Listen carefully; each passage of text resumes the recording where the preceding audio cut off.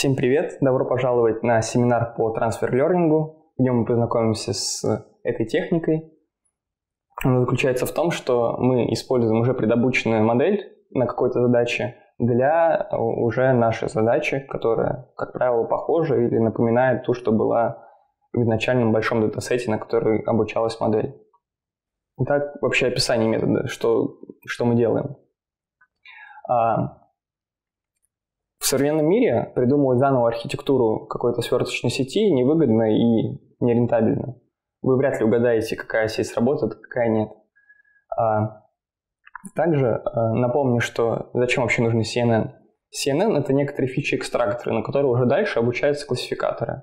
То есть а, в самой сверточной сети подбираются какие-то фичи изображения, именно свертки, да, то есть если кусочек изображения похож на свертку, то это дает большую активацию, и, собственно, вот одна фича, она как бы имеет большое значение. И дальше уже вот по этим фичам, которые не руками созданы, а которые обучаемые, а, мы уже сверху обучаем какой-то классификатор, как правило, это 2-3 слоя обычной полносвязанной сети с активациями в промежуточных слоях. И это неплохо работает. Собственно, в чем заключается fine-tuning, метод fine-tuning а. Да, это как бы подмножество transfer learning а. Что мы делаем? Мы берем, а, как я уже сказал, большую обученную сеть и не просто заново ее обучаем, а вот берем уже загруженные веса, которые были, подгружаем в нее, и после этого мы а, пытаемся немножко изменить эти веса так, чтобы они удовлетворяли уже условиям задачи, которые необходимы нам. Обычно э, все большие сетки обучаются на э, датасете, называемом IngeNet. Он там состоит, насколько я помню, из тысячи классов. Э, он очень большой по объему, и самому обучать на этом датасете у нас нет никакой возможности. Поэтому мы пользуемся уже как бы выложенными моделями, которые предобучили за нас какие-то большие компании или там, стартапы и так далее. Так вот, fine-tuning, в чем он заключается? Мы можем, во-первых, заморозить фичи просто, а, которые есть в нашей сверточной сети, и просто обучать этот классификатор заново.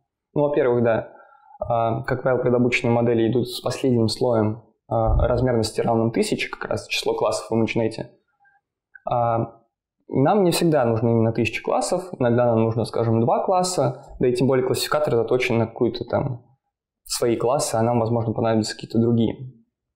И поэтому мы э, просто заново инициализируем вот эти вот последние слои, которые являются классификаторами, и э, меняем размерность выходного слоя. Обычно вся суть заключается в этом.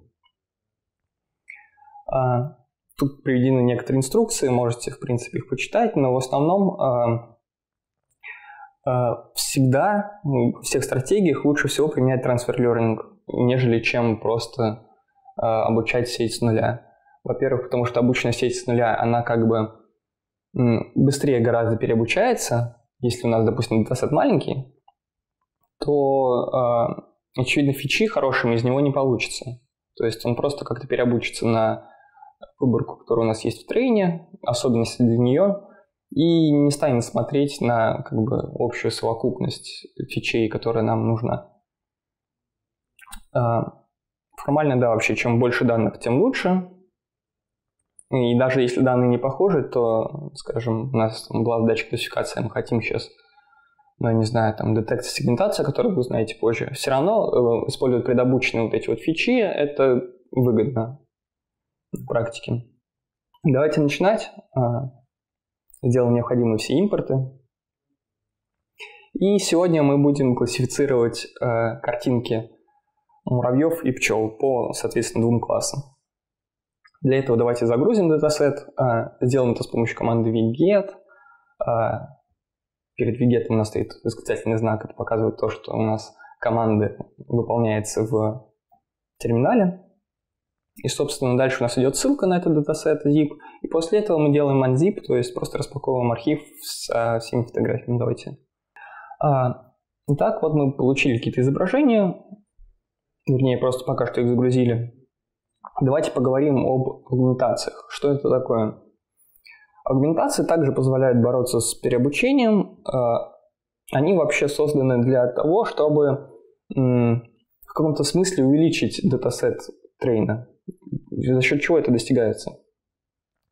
А, допустим, у нас было изображение пчелы, и вдруг мы ее повернули, ну, допустим, просто отразили зеркально по горизонтали. От этого пчела осталась пчелой, собственно. И наша сеть должна ровно так же э, понимать, что это фотография пчелы. А, и вот здесь за это отвечает э, такая трансформация, как э, Random Horizontal Flip. То есть что она делает? Она там с вероятностью 0,5 берет просто и переворачивает изображение. И таким образом мы как бы случайно иногда расширяем наш э, датасет, который был в самом начале. А также мы используем нормализацию для нашего датасета. А откуда эти числа берутся? А, вот тут, значит, у нас есть вектор из средних да, по трем каналам и вектор из э, стандартных отклонений. А, как правило, его берут из э, самой предобученной сети, а предобученная сеть у нас обучалась на ImageNet, поэтому неплохим выбором, в принципе, будет вот нормализовывать э, так, вот, вот именно теми же числами, что, которые были получены на ImageNet. То есть, что там происходило? Мы просто берем, складываем там все картинки между собой, делим на их число, получаем какое-то среднее значение, и потом мы делаем так, чтобы это среднее значение было единицей, и стандартное отклонение тоже было единицей. То есть мы там сначала вычитаем среднее, а потом делим на стандартное отклонение. А, хочу заметить, что на валидации а, мы вот этого вот случайного горизонтального поворота мы не делаем его. Почему? Потому что мы хотим, а, чтобы на валидацию у нас всегда а, как бы датасет был один и тот же. То есть данные, на которых мы валидируемся, должны быть детерминированы. Поэтому здесь э, вместо флипа здесь стоит просто центр кроп. А здесь у нас, как мы видим, да, тоже стоит random resize crop. Что делает random resize crop? Э, он как бы случайно берет и э, обрезает наше изображение по вот размеру, который мы ему указали. То есть у нас там было входное изображение 256 на 256, мы взяли и обрезали его до 244 на 244. Таким образом, как правило, вот объект нашего наблюдения, он все равно попадает в выборку. Ну, то есть, э, вот у нас была изображена пчела, мы взяли как-то обрезали, а быть может, пчела сместилась ближе к углу, но это все равно остается пчелой. И мы хотим, чтобы наша сеть также это понимала. А, как нам, теперь перейдем к практике, как нам инициализировать сам датасет? Значит, у нас есть какая-то вот специальная структура, да, у скачанных файлов можно увидеть. У нас есть, значит, корневая папка, вот, хани. И дальше у нас есть э, валидация, вот папка с валидацией. И в ней, значит, по классам распихано, значит, изображение с пчелой, вот одна папка, и в ней все соответствующие изображения пчелой, и с муравьем также и с трейном. У нас есть пчелы, и если, значит, э, пчелы находятся в директории трейн, то мы будем, очевидно, пихать их в train датасет, также и с муравьями. Вот. Если у нас есть такая структура папок, как здесь, а, то мы можем э, воспользоваться уже встроенной в torchvision, так скажем, классом, называется ImageFolder, что он делает? Он вот как раз-таки, основываясь на этой структуре, э, делает наш датасет. То есть сразу же говорит, что вот это train, это тест, и сразу же как бы выплевывает тензоры из изображения и, собственно, классом. Класс он сразу же переводит там из вот bis и ans в 0 и 1. В общем, все у нас написано, очень полезная штука. А, поэтому, как правило, датасеты все по CV хранят вот в таком формате.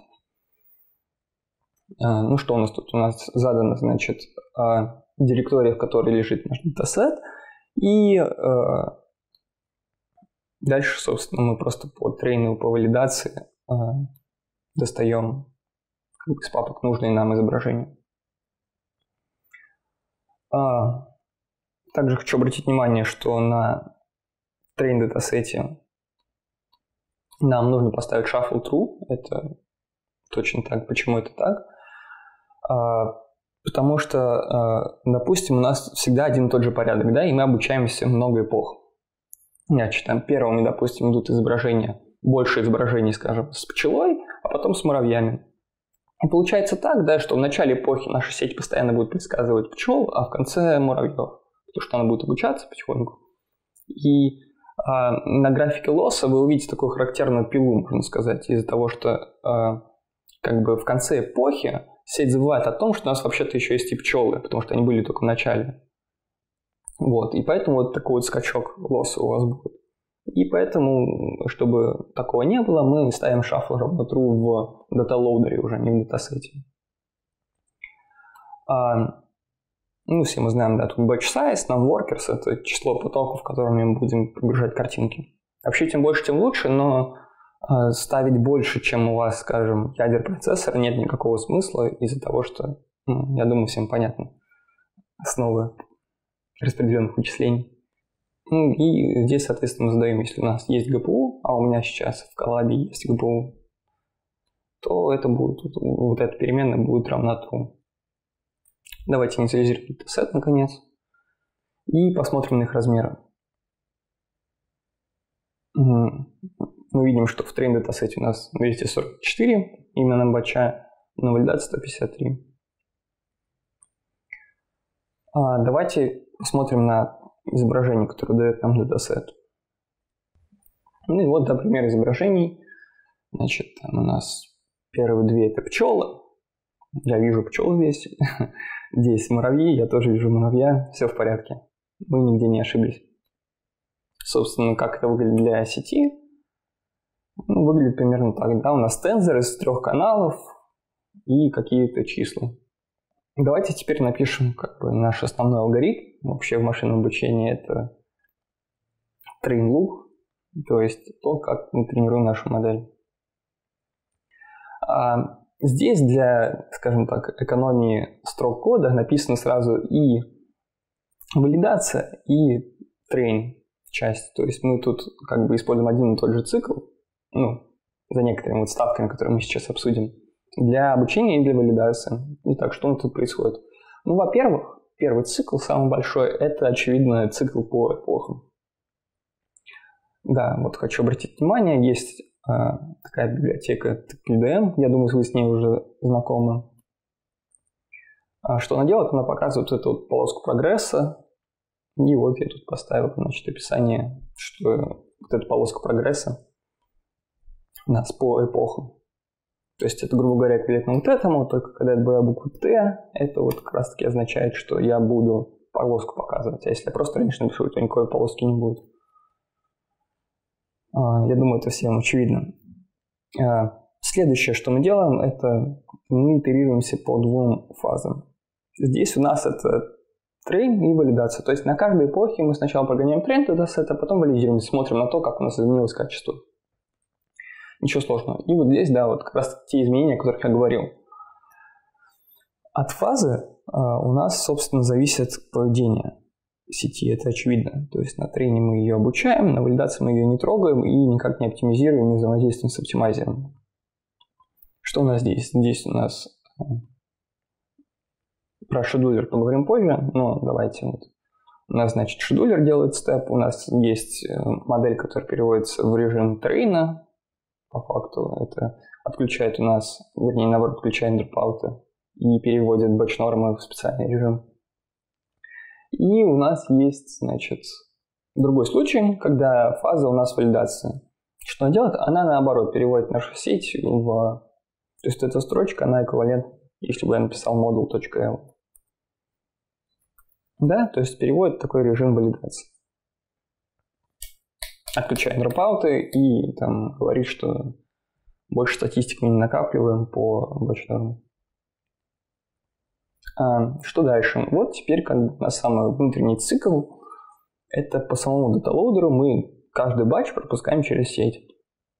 Какой у нас формат бача? Формат бача у нас следующий. У нас как бы это tuple из двух объектов. Первый объект это тензоры, то есть сами изображения ну, вернее, второй тоже тензор, но вот первый это такой трехмерный тензор, то есть у нас там три матрицы, соответствующие каждому каналу. И, собственно, метки классов. Метки классов тоже тензор, но такой одномерный из одного числа. И здесь он будет двухмерный из-за того, что у нас еще batch есть какой-то, batch size 4, насколько я помню. То есть 4 метки соответствующие и соответствующие им 4 изображения. Значит, если у нас есть GPU, то мы перекидываем наш батч на GPU, ничего нового. А если у нас сейчас идет тренинг, то нам, очевидно, нужно для начала установить градиенты перед пропусканием через сеть каких-то данных. Вот здесь мы этим занимаемся. А, собственно, давайте посмотрим. Вот здесь, да, тоже важный момент. Вот так. А еще одно различие, собственно, если у нас фаза сейчас валидации, то мы еще раз говорим, что градиенты нам считать не нужно. Именно поэтому мы делаем а, торч науград, то есть в чем отличие между там точечка train, точечка L, да, у модели и торч науград. Еще раз, а, точка train, точка L переводит саму модель просто вот слои какой-то, а, слои модели в какой-то другой режим. При этом мы можем, в принципе, сделать там модуль .eval и дальше считать градиенты. Но на валидации нам это не нужно. Иногда гипотетически такое возможно, что нам нужно. Но это сейчас за рамками семинара. Так вот, и поэтому нам нужно еще отключать и градиенты, подсчет градиентов на валидации, потому что мы никак не оптимизируем нашу сеть. А, и вот все, что вот написано после with grad, вот все вот это пространство условно, здесь градиенты считаться не будут. Тут можно еще что-то написать, какие-то операции тензорные. Здесь их, здесь, если вы делаете backward, то вам просто скажут, что ну, градиентов нет просто.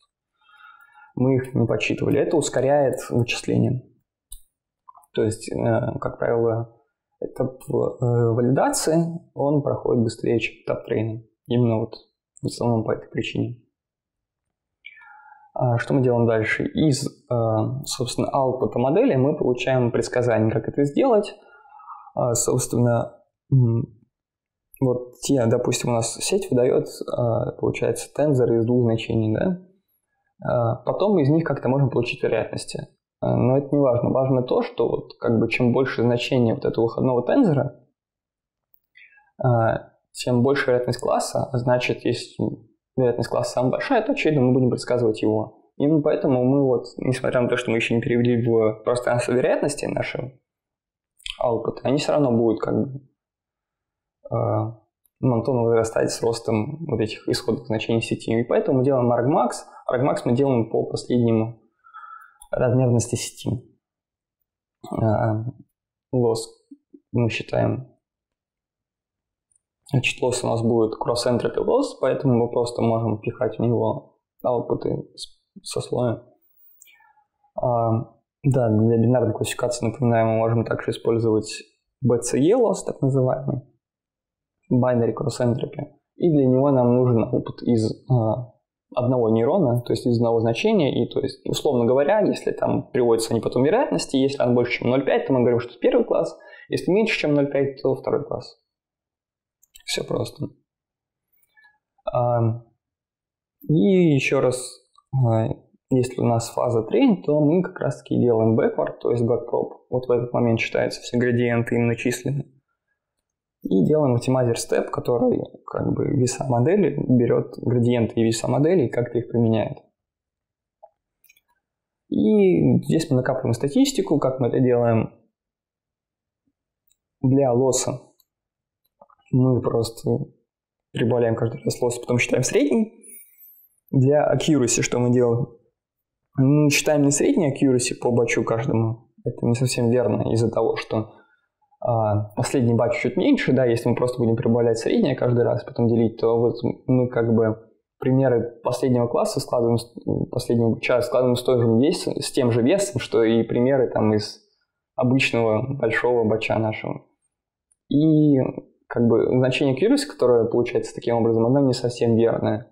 Оно слабо отличается, но все же отличается. Мы такого не хотим допустить. Поэтому мы считаем именно число э, правильных предсказаний и делим их на общее число э, элементов нашего датасета. То есть просто считаем прям по определению accuracy. Что дальше? Что здесь еще? Ну, накапливаем статистику. Да, вот здесь вот тоже важная вещь. У нас вот есть p-бар, и мы на него задаем э, описание, то есть это вот тот текст, который вместе с ним будет отображаться. А сюда мы, значит, кладем фазу, то есть трейн либо валидация, и loss rate по эпохе. Также мы сохраняем лучшую модель, то есть если у нас валидация и accuracy стала лучше, чем было, то мы сохраняем модель. Если это не так, то мы модель не сохраняем. А, ну, то есть, как бы веса ее остаются, мы продолжаем тренироваться, но вот в переменную best model мы его не записываем. Ну и в конце вводится какой-то отчет. И подгружаются веса лучшей модели. Мы хотим, чтобы так было. По очевидным причинам. Да, также у нас тут есть функция для отрисовки предсказаний модели. Она похожа на то, что было вот здесь. Для просто отрисовки классов и изображений. И, собственно, здесь у нас э, функция для измерения качества модели. То есть мы здесь ее уже не тренируем, а просто пропускаем через валидационный лоуда и смотрим на то, какое значение у нас получилось. Ну что ж, давайте двигаться к практике. А, мы сейчас попробуем обучить несколько архитектур. А, значит, мы будем пробовать файн-тюнить их разным образом, вернее, заниматься трансфер-лернингом, более точно. Ну вот, немножко разными способами, как бы ответвлениями. Начнем с обычной AlexNet. Я думаю, всем она знакома. А, первая там нейронная сеть, которая что-то смогла вообще сделать а против обычных encrafted фичей, то есть те, которые руками люди придумывают. А как ее загрузить? Значит, это опять же какой-то модуль из Torch Vision, называется Models. Дальше через точку мы указываем, какую модель мы хотим. И после этого у нас идет флаг pretrained. Если он true, то мы еще также загрузим этой модели и ну, собственно, загрузим их в скелет модели. А, а если он false, то мы просто инициализируем как-то эту модель случайно. Давайте, да, посмотрим, что внутри нашей сети, после того, как она загрузится. Отлично. Загрузили модель, посмотрим, что внутри. Какие слои. А, ничего нового. Я надеюсь, вы для себя не увидели. У нас тут свертки, релу, макспул, свертка, релу, макспул. Вот такие вот, значит, модули. Их тут получается 4 штуки. И после этого у нас идет average pooling, и мы как бы превращаем наши фичи из такого вот вытянутого вида, то есть там вот маленькие изображения и много каналов, да, вот так вот, обычно их такой полоской представляют, мы их представляем просто в flattened виде, то есть один вектор. Значит, этот вектор у нас размер 9216. Вот как раз таки то, о чем я говорил. Вот эта часть модели, как бы верхние, первые слои, называется фичи экстрактор. Она, как я и говорил, состоит из сверточных слоев в основном. А, а после нее идет вот наш классификатор. Тоже ничего нового, а у нас просто полносвязанная сеть здесь с какими-то дропаутами, а, нелинейностями релу. Ну, по факту здесь вот видим три слоя. Один скрытый слой, вернее. И, значит, две активации релом. И, как я говорил, в самом конце у нас out features, можно заметить, тысячи. Что с этим делать? Давайте разбираться. Число фичей, которые приходят на вход классификатор, 9216. Зафиксируем это число. А теперь скажем, что вот этот вот классификатор а, он просто давайте будет равен вот линейному слою из а, который приводит таки вот этот большой длинный вектор из 9000 фичей в две. И вот эти две фичи мы будем брать как предсказание модели. А, значит, как это можно сделать? Мы просто берем, значит, вот, вот наша модель, а, через точку вызываем классификатор, вот, мы здесь это сделали, и просто говорим, что ты теперь вот не sequential, там из трех слоев, а просто NN-лайнер. Как-то случайно инициализировано, кстати. То есть вот, вот сейчас прям эту модель использовать нельзя. Ее надо как-то дообучить, чтобы э, вот этот классификатор научился тем фичам, которые выдает нам фичи-экстрактор. Э, положим модель GPU. Э, как я уже говорю, будем использовать cross loss. И в качестве оптимизатора возьмем Adam. Это самый распространенный выбор. А, сильно лучше Адама, как правило, не прыгнешь. А, в общем, я думаю, вы знаете, что Адам это как бы такой оптимизатор сейчас по умолчанию. И по поводу шедулера я обещал. А, что происходит? Значит, мы на первых этапах обучения само по себе обучение, оно происходит более активно. То есть, если мы посмотрим на лос, он вот прям резко падает у нас. А после этого мы хотим, чтобы наша сеть делала более маленькие шаги, чтобы она выпустила какого-то маленького локального минимума. При большом э, learning rate у нас просто будет как-то очень сильно прыгать модель. Ну, представьте, да, себе параболу, я думаю, вы видели эту картинку, большой LR, значит, у нас вот так вот прыгает просто, а маленький learning rate у нас как бы оно вот скатывается и вот находит самый, самый минимум. А, так вот, что здесь происходит? На каждом седьмом шагу седьмой эпохи мы уменьшаем наш learning rate на гамма, то есть на 0,1. Что это значит? Каждые 7 эпох learning rate уменьшается в 10 раз. Давайте, собственно, приступим к обучению. Функции мы уже подготовили, все аргументы у нас есть.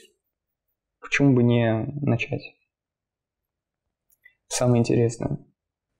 Так что мы видим, да, вот нижняя полоска у нас есть, которая как-то быстро мелькает из-за того, что у нас идут итерации по датасетам. И есть верхняя полоска, которая уже обозначает число эпох. Допустим, сейчас, да, идет шестая эпоха. И, как я говорил, можно заметить, что валидация проходит быстрее, чем тренинг. Ну, видимо, accuracy, да, у нас какой-то получается. Сразу скажу, что достаточно неплохая на валидации 90%. То есть 90% мы не то чтобы угадываем, а уже как бы предсказываем верно. Видим, что на трейне у нас accuracy выше. Это логично. Как бы в том, что а, на трейне accuracy выше, чем на валидации, это еще не значит, что это переобучение. Просто оно вполне может как бы каком-то смысле параллельно идти друг другу, и валидация тоже будет уменьшаться. Ну вот, да, мы уже видим, что, в принципе, на валидации было 90, сейчас 88, чуть-чуть упало качество, но ничего страшного. Мы ведь сохранили лучшую модель. Дождемся окончания и поговорим немножко о том, как вообще графики построить. Я думаю, это уже знаете, но я покажу такие, как их сделать более красивыми. Значит, есть такая библиотека для статистики, она в основном используется. Называется Seaborn. Давайте ее импортируем. Seaborn. Что мы можем сделать? Мы можем... Первое, что не нравится в обычном графике, давайте я сначала построю. А, он маленький, у него деление достаточно маленького шрифта. А, и тут что-то вылазит еще значит, объект сам по себе. Что я, что я сейчас делаю? Смотрите, я делаю sns.set. Во-первых, у Seaborn есть какие-то стили свои, да. Давайте я воспользуюсь стилем white grid. Что это значит? Значит, фон будет белым и будет сетка. А во-вторых, вот этот вот шрифт, да, вот на осях, он слишком мелкий, как мне кажется. Я думаю, большинство со мной согласится я делаю его ну, на 40% больше. После этого действия я должен создать еще. А, как бы класс фигуры и задать его размер. Здесь он слишком маленький, мы хотим чуть больше его сделать. Мы используем, господи, тут процентов 10 экрана. Стандартный выбор, выбор неплохой, это 12 на 8. И чтобы вот это вот не выходило, я делал plot.show. Да, после него вот, вот этого вот выхода служебного, условно, его не будет. Давайте посмотрим на результат. Да, как по мне, получилось гораздо более приятно. У нас есть сетка, мы можем как-то сравнить. А, что мы видим? А, как я говорил, сеть достаточно быстро обучается, и после этого, вот оранжевая у нас валидация, давайте сделаю, чтобы было видно, что это валидация. Это Да, вот теперь видно. А, синий у нас трейн, а, валидация оранжевый. И вот мы достигаем какого-то минимума, потом потихоньку растем. Но мы вот сохранили вот эту вот нашу лучшую модель. Давайте еще раз убедимся. Сохраним веса. Именно в память жесткого диска. И опять их загрузим, чтобы убедиться, что все в порядке. И измерим accuracy. Accuracy у нас 88. Ну, вполне достойно. А какие еще есть способы? Какие еще есть способы а, фантюнинга, условно? А, снова загрузим модель. И что мы теперь будем делать? Мы видим, что сейчас мы обучаем абсолютно все слои. Это, в принципе, нормально, но может привести к переобучению. А, то есть вот те фичи, которые модель долго обучала на большом датасете, они могут подпортиться в, и сместиться как бы в сторону тренинг датасета нашего. И как нам это исправить? Да? Мы хотим сейчас зафиксировать этот фичи экстрактор и обучать только классификатор. Как нам это сделать? А, собственно, у каждого параметра модели есть такой а, атрибут, как requires По умолчанию, как мы видим здесь, он true. Мы можем просто поставить его false. И PyTorch как бы поймет, да, что вот для этих вот тензоров, которые являются весами модели, мы градиенты не считаем. А, опять же, указываем число фичей. Оно осталось неизменным. Классификатор мы будем обучать, поэтому здесь как бы мы никаких requires false не делаем. А, закинем на GPU, и здесь все то же самое. Давайте попробуем запустить обучение. Ну, вернее, не попробуем, а запустим. Посмотрим результат. Вообще говоря, сейчас обучение должно происходить еще быстрее, а, так как мы градиенты считаем для меньшего числа параметров. В принципе, у нас тут полторы минуты, а до этого сколько?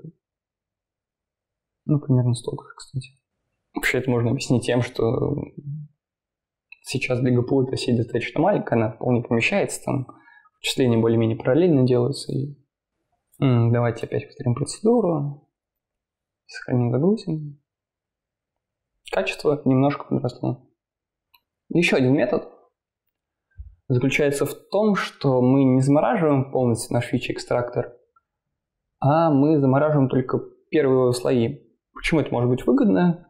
Если посмотреть внутрь сверток AlexNet, то мы увидим, что первые слои, они содержат какую-то такую базовую информацию, да, условно, если там горизонтальные палки, ну, палки, условно говоря, горизонтальные линии на э, фотографии, если там вертикальные, как-то скосы, какие-то округлости, а вот, скажем, свертки, которые ближе уже к классификатору, они какие-то более сложные, там какие-то, скажем, круги на правом углу и при этом палка в левом углу. Как-то так. Какие-то они, в общем, сложные, и кажется, что их тоже можно дообучать до, для нашей задачи, а вот те, которые какие-то основные, их не трогать. Они вполне себе подходят. А, давайте в третий раз уже загрузим наш LXNet. И введем новую переменную, это вот число слоев а, фичи экстрактора, которую мы хотим разморозить. И дальше мы а, делаем requires grad false только для первых слоев. Остальные мы тренируем. Опять делаем все то же самое, классификатор делаем выход классификатора размерности 2. Даже функция блокир. Интересно, что мы кладем в Адам. В Адам мы кладем в оптимизатор наш только те слои, которые нам нужны, то есть те, которые разморожены, и классификатор. Мы можем просто плюс сделать, и как бы у нас такой вот лист из параметров получится. А шедулер то же самое используем. Давайте запустим тренировку. Итак, мы получили качество 89-54. Это лучше, чем первый способ, чуть хуже, чем второй. А, Суть в том, что изначально, вот просто глядя на датасет, вы сразу не можете сказать, что будет лучше, а что хуже. И поэтому надо пробовать все. А, давайте познакомимся с таким еще методом со звездочкой немного. А, в чем он заключается? Вместо заморозки слоев давайте будем пробовать делать разные learning rate на каждый слоев. А, как это сделать? Собственно, первый этап ничем не отличается. Давайте загрузим AlexNet.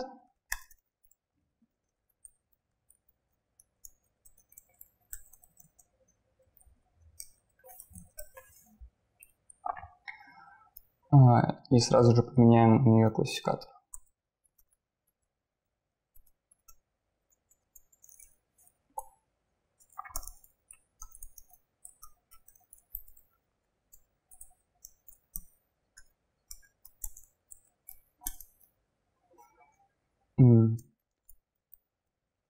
Теперь что мы делаем? А, нам не нужно никак вставлять requires grad, он уже он везде будет true, очевидно.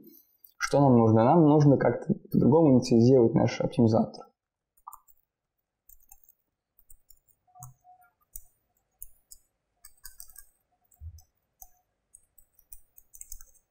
Обычно первым параметром э, оптимизатора любого FlightRC является, там, скажем, model.params. А в нашем случае это будет не совсем так. У нас будет лист. Из чего он будет состоять?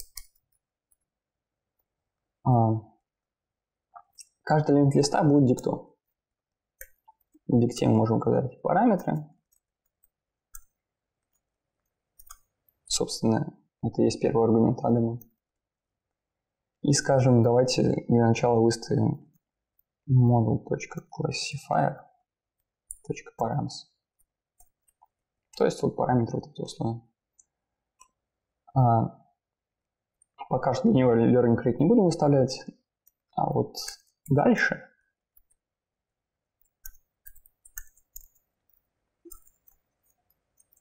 а, угу. кажется, давайте вспомним, как он называется точно. Features.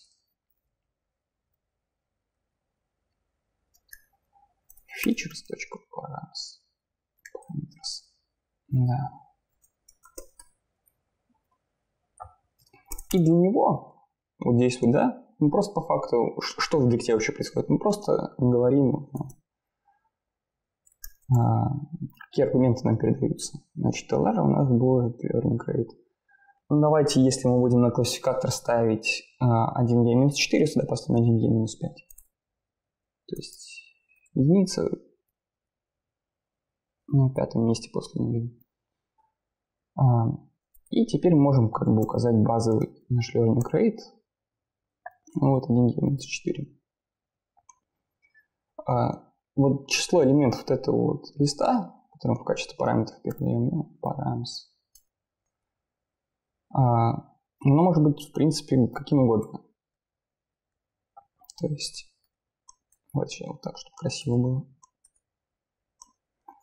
То есть мы можем даже на каждый слой прям выставить свой learning rate, который будет как-то линейно, например, расти к концу, потому что в конце классификатора, который мы хотим тренировать. Э, иногда это помогает как-то лучше обучать нашу сеть, иногда нет. Давайте посмотрим, как получится у нас. Оптимизатор есть, критерий теперь есть.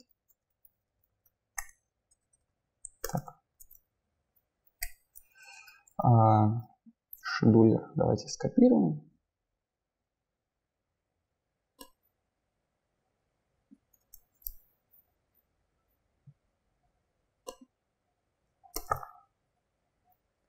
У нас тут не модуль, а модуль diff То есть разный learning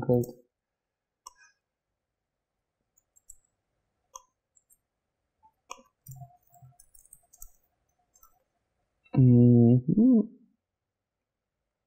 Так, ну вроде бы нормально. Давайте попробуем инициализировать это все.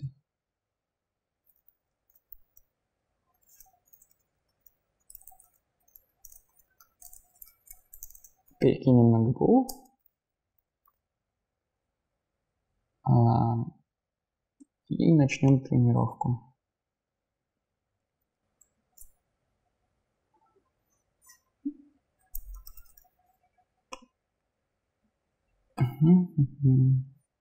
Да, я думаю, мы готовы. Да, как мы видим, accuracy у нас самая высокая. Не зря рассказывал. А, честно говоря, сам не знал, получится ли лучше или нет. Но получилось лучше, да? Я ведь прав? Да. Предыдущий лучше было 90%, сейчас это 92%, 91,5%. В общем, надо каждый раз пробовать, смотреть и не ограничивать себя каким-то одним методом. А теперь поговорим немножко про другое, поговорим про архитектуру. А, какие вообще это сети сейчас бывают? Ну, то есть начнем, скажем, кажется, 2013 года. А, AlexNet в 2012 году, на следующий год, вот, по-моему, была ВГГ, VGG. Что в ней? В ней просто чуть больше слоев на самом деле. Также у нас есть, мы видим, такие блоки, да, и свертка-свертка, дальше макс-пулинг. Э, то есть, если раньше только одна свертка была, и дальше пулинг, сейчас несколько тут у нас на данный момент на экране. И, э, в принципе, мы также можем увидеть разделение да, между фичи-экстрактором и классификатором. Тоже весьма классическая схема. А, вот единственное, что, да, больше, чем 19 слоев, да, 19 блоков вы в ней никогда не увидите из-за того, что а, в ней а, градиенты уже начинают как бы затухать. Об этом поговорим чуть позже. Ну, в общем, она достаточно большая, по числу параметров тяжелая. Давайте ее загрузим, сделаем то же самое и попробуем немножко ее потренировать. Да, видим, у нас время обучения чуть больше стало. Так, давайте посмотрим на результаты. Какие у нас? 95%, да, мы видим как бы такой качественный скачок. Тут даже метод не подбирал, просто вот он был, значит, что мы делали? Замораживали весь экстрактор и тренировали только классификатор. А, давайте двигаться дальше. А, следующая идея такая. А, вот в обычных сетях, да, которые мы просматривали выше, там у нас э, свертки по изображению, они фиксированного размера, они одни и те же. И как бы возможно, что э, если у нас будет какой-то маленький объект, они на него среагируют. А если он будет большим, да, то он уже не будет реагировать, хотя это вроде как один и тот же объект. Вот, к примеру, тут собаки изображены. На левой фотографии у нас такая большая, в смысле э, размера относительно всего изображения собака. Дальше чуть правее собака уже чуть меньше, и на самой правой картинке у нас самая маленькая такая собака относительно размера изображения, да вообще по размерам, подозреваю. А, что можно сделать с этим? Вот давайте, когда возьмем свертки разного размера, собственно, для большой собаки пусть будет свертка 5 на 5, для средней 3 на 3 и так далее. И потом вот эти свертки, да, как-то их сгруппируем, посмотрим на них и передадим в следующий слой. Самая простая версия. Дальше здесь у нас как бы уже немножко другая версия. Если у нас можем изменять число каналов от слоя к слою, вообще, да, вот изменение по числу каналов, оно, как правило, делается таким трюком, как свертки 1 на 1 их можно увидеть очень часто, вы скажете, ну что за глупость, это же просто как, попиксельно как-то непонятно, да, с первого раза. Ну что они делают? Они берут и по факту они как-то уменьшают число каналов или увеличивают. В общем, подгоняют нужное нам число каналов, которое, скажем, было на предыдущем и станет на следующем, оно может быть разным. А, вот можно добавить такие свертки. А, Что еще? Как я уже говорил, да, в предыдущей модели у нас нет смысла ставить больше, чем 19 слоев, потому что дальше качество падает. Почему это происходит? Слоев слишком много, а градиенты с самого начала не доходят до конца, и Ну, в общем, качество падает, и у нас сами фичи, получается, не очень хорошие в первых слоях. Как с этим борется автор Inception? Да, для архитектуры называется Inception, когда у нас несколько таких ветвей. Они э, делают несколько классификаторов. Таким образом, скажем, вот после трех слоев, да, он стоит классификатор, после там, пяти и, после, и в самом конце. Таким образом, мы считаем лосс не только э, вот в самом конце, да, на нашем основном классификаторе, а еще вот здесь, вот на этих классификаторах, которые пытаются обучаться вот на этих фичах. А, таким образом, как бы градиенту проще пройти отсюда сюда, а, чем проходить весь огромный путь отсюда. Таким образом, вроде как градиент начинает меньше затухать, и вот конечный лосс это что такое? Это просто будет сумма вот этих трех как взвешенная. Давайте попробуем ее обучить. А, важный момент, да, авторы еще статьи улучшили качество интернете за счет того, что они начали подавать изображение большего размера. То есть не 244 пикселя на 244, а 299 на 299. Поэтому э, нам понадобится немного другой датасет, да, который будет выплевывать изображение не 244 размера, а 299. Давайте его инициализируем и попробуем тренировать нашу модель. Так, сейчас точно убежусь, что мы приближаем модель. Кажется, мы этого не делаем. Давайте попробуем сделать это.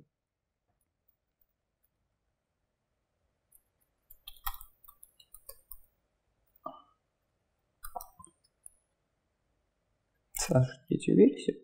Pretrain равно true. Да, я предлагаю не заморачиваться над методом фантюнинга, просто будем фантюнить всю модель. Давайте вставлю код из предыдущего пункта.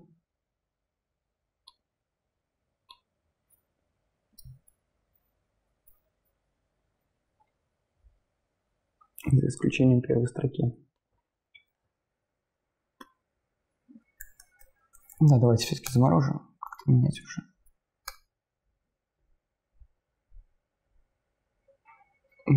Совпадут ли фичи? Узнаем. Будет пускай надо.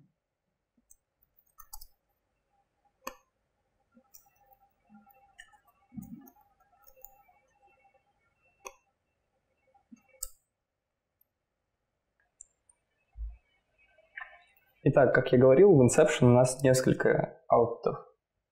Поэтому процедура фантюнинга здесь немножко будет отличаться.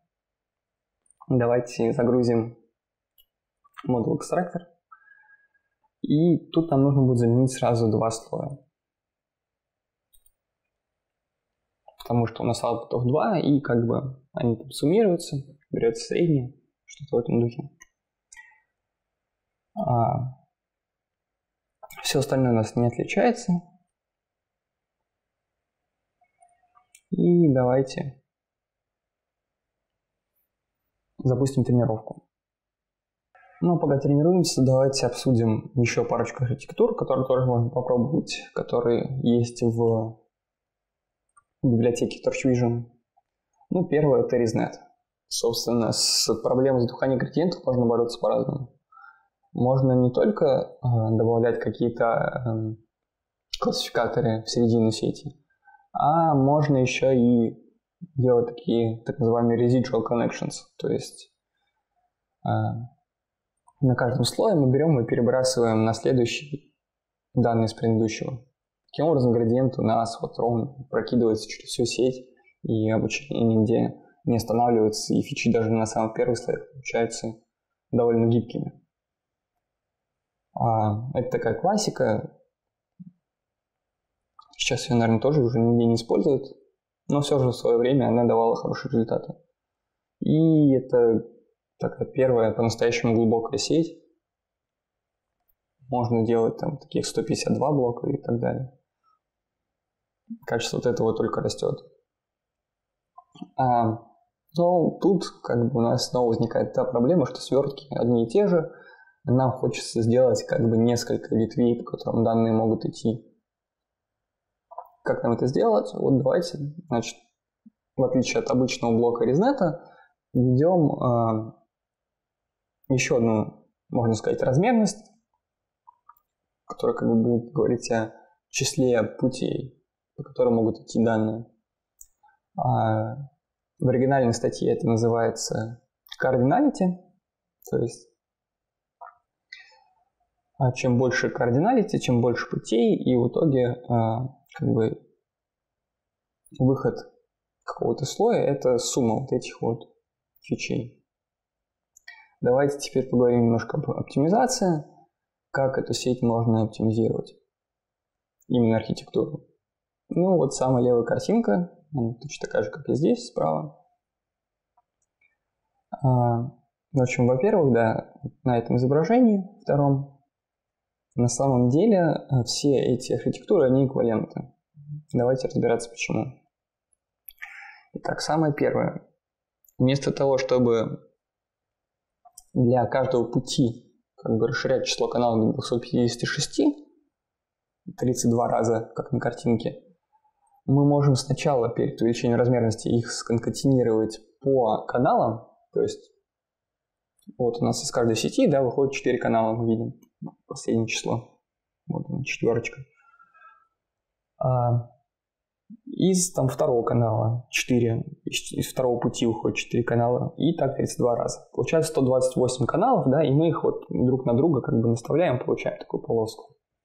И уже после этого мы из 128 переходим в 256. Это ускоряет нашу сеть, и по факту они вот становятся эквивалентны в любом случае. То есть и слева, и справа сеть может аппроксимировать одни и те же зависимости. Идем дальше. А, тут немного сложнее, как нам превратить эти вот 32 пути в одну свертку, но не обычную, а group convolution называется, не знаю, групповая свертка. Не верю, что так корректно говорить. В общем, а, суть в том, да, что у свертки есть еще один параметр, называется groups. Groups – это как бы число, по факту, групп ядер вот этих вот сверток, Сейчас будем разбираться, что это такое. А, вспомним, что такое обычный сверточный слой.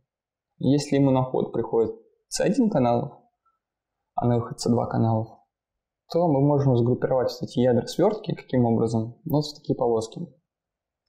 Длина каждой полоски C1, то есть число входных каналов. Что мы делаем? Очень грубо говоря, когда пропускаем картинку через слой мы для каждого канала применяем, вот берем первый канал, э, первую свертку из этой полоски, а, применяем к ней, собственно, операцию свертки, получаем что-то. И так проходимся по всем каналам. И таким образом мы получим только один канал выходного изображения. А мы знаем, что у выходного изображения свертки у нас C2. Поэтому мы делаем не одну такую полоску из ядер, а сразу же C2 полосок. Всего сколько параметров получается. А, значит, в каждой такой полосочке у нас C1 свертка и всего полосок C2. C1 умножаем на C2. Очень просто. А теперь как нам можно уменьшить число параметров? А, сейчас будет магия. Смотрите, давайте теперь разделим входное и выходное Тенза на две части по каналу. И теперь давайте просто подумаем отдельно, да? Берем первую часть, значит, переводим ее в первую часть второго тензора. А как нам это сделать? Ну, наверное, нам понадобится теперь у нас входная размерность C1 пополам, а выходная C2 пополам. Значит, нам нужно C2 пополам полосок э, размерности вернее, длиной C1 пополам, потому что входное изображение C1 пополам каналов имеет. А, итого сколько нам понадобится? Нам понадобится C1 пополам умножить на C2 пополам а, сверток, ядер сверток. А, теперь давайте проделаем то же самое с, э, с второй частью. То есть мы берем вторую часть и также ее переводим в А, в тензор C2 пополам. То есть у нас всего параметров, да, сколько получится. 2 а, умножить на C1 пополам на C2 пополам. то, что мы два раза просто будем применять и ко второй части. Так вот, вот это вот применение к первой ко второй части называется как раз-таки э, group convolution. Что происходит? Мы можем, во-первых, не на две части разделять, а на n частей. И вот это n – это как раз-таки число каналов. И таким образом мы вроде как переводим один тензор в другой, но при этом делаем это с гораздо меньшим числом параметров. И давайте вернемся к этим изображениям. Что мы здесь видим? Здесь, если мы поставим группу 32, то есть мы как раз-таки разделим наш исходный тенсор на 32 части, и вот эти вот ветки, да, это вот будет ровно эквивалентно тому, что мы будем делать дальше вот в операции свертки. Таким образом, да, вот чисто внешне, если возьмем обычный блок резнета, и вот то, что у нас вот здесь получилось, они, они очень похожи. Единственное их отличие – это в групповой свертке. Мы только что показали, что эта групповая свертка нам дает как раз-таки 32 пути, по которым может идти изображение. Вот так вот. А, и еще один бонус, значит, э, вот эти вот все сети, которые я рассказывал, насколько я понимаю, это все э, до 2015 года. Резнекст, насколько я помню, именно в 2015 был. Давайте, можно даже посмотреть. Какой год? А, 17 год наврал. В общем, 2017 года. Кстати, статья самая интересная достаточно. Здесь еще много графиков, да, вот, допустим, по сравнению с Резнекст. Резнекст – это как раз таки та архитектура, которую мы разбирали. Как видим, слос тут меньше. И еще они исследовали одну штуку. В общем, они увеличили число вот этих вот слоев и а, сравнивали это с тем, что мы увеличиваем число а, вот этих вот путей, координалити. И оказалось, что нам более выгодно как раз таки увеличивать число путей. То есть за такое же количество параметров мы получаем лучшее качество. Вот такие интересные результаты. В общем, ссылка есть, можете почитать потом. А, давайте сейчас расскажем о чем-то более современном. А, полностью я вряд ли расскажу об этом, но вот какое-то представление будете иметь. А, в чем суть, значит? Сейчас все больше и больше, на самом деле, людей заботит не просто качество сети, а то качество, которое она выдает при своих размерах. Условно, даже если там кто-то придумает сейчас архитектуру с огромным количеством параметров, которая решает идеальную задачу, и использовать никто не сможет из-за того, что у нее слишком много параметров, и на все сервера она влезет, не всем денег хватит, чтобы обслуживать такой сервис, на котором работает эта нейронная сеть. А, что можно сделать? Можно как-то да, а вторая проблема это какая, что обычно вот архитектуру, которая есть, ее придумали люди, и они, в принципе, вот как-то просто по своему чутью сделали там столько-то количество фильтров, здесь такой размер изображения, здесь мы столько-то, там как-то, грубо говоря, увеличим в два раза, там 32, 64, вот это все. Они очень часто встречаются, 1024, 1048. Все какие-то магические немного константы. Что если это не совсем эффективный способ? И вот Google в 2019 году представил новые архитектуры, как бы группу архитектуры сетей, называется EfficientNet. Что они делали? Они, во-первых, определили, то есть давайте посмотрим вообще, по каким параметрам мы можем увеличивать нашу сеть. Это там число каналов, размер входного изображения, число слоев и так далее. А в общем, что они сделали? Для начала они там запустили grid то есть просто поискали по всей сетке вот этих вот гиперпараметров что-то оптимальное. Потом обучили еще один алгоритм на этой сетке.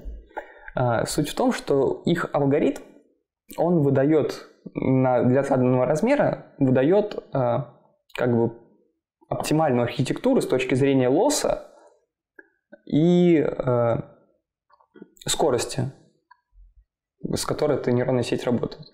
Что у них получилось? У них получилась такая вот архитектура. Здесь мы видим, да, свертки из MobileNet. Мы их сейчас не будем покрывать, но суть в том, что если мы посмотрим на график, да, у нас здесь по оси снизу изображено число параметров, по вертикальной оси у нас изображено, собственно, accuracy на том же самом межнете. И мы видим, что вот все efficient net, они, скажем, при размере ResNet 152, это там, как мы видим, около 60 миллионов параметров, с ней можно сравниться вот EfficientNet B1, у которой меньше 10 миллионов параметров. Она даже лучше. А с этим тоже можно поиграться. Внизу я оставил код, как можно подгружать а, модели EfficientNet. Сюда можно там B1, B2 поставить и так далее. В общем, если у вас будет время, то сюда можно просто скопировать уже код, который для обучения был создан, и посмотреть, какой accuracy оно выдает. А, в принципе, вот да, сейчас до сих пор используют какие-то модификации FishNet, и это вполне вот современная архитектура. Это то, что можно использовать вот как бы в, в реальном мире сейчас. Давайте посмотрим, я думаю, Inception уже отработал. Так, напечатал QS. Ну, 94. Да, по-моему, чуть хуже, чем VGG, но неплохо принципе, я не сильно оптимизировал как-то по методу файнтюнинга. А, на этом, я думаю, все. В принципе, вы можете, да, тут еще ссылки есть на туториал по торча по трансфер Там, собственно, вот ровно это датасеты используются. А, также там ссылки на курс CS231. Ну и здесь тоже они есть. Собственно, про групп свертки, если вы что-то не поняли, то можно почитать. Там вполне доступным языком написано. Всем удачи в изучении CV, а, терпения и всего доброго.